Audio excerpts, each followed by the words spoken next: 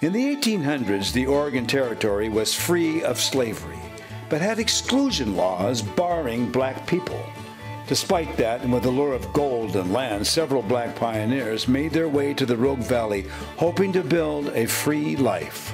One such pioneer was John Mathews, who in 1816 was born into slavery in North Carolina, the product of the Mask plantation owner's son and a woman he enslaved named Alinder Penelope Mathews. On Mask's deathbed in 1830, he freed Alinder John and John's siblings who moved to Tennessee, where Mathews married his childhood friend, Elizabeth Rachel Woolley, who was white.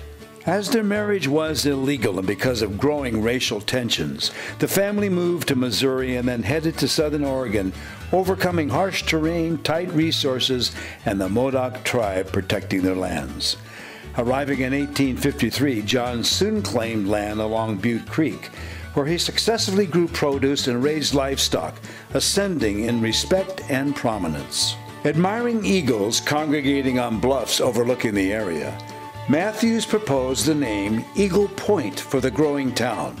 The mostly white community and town founder J.J. Fryer agreed and worked together with Mathews to develop today's Eagle Point.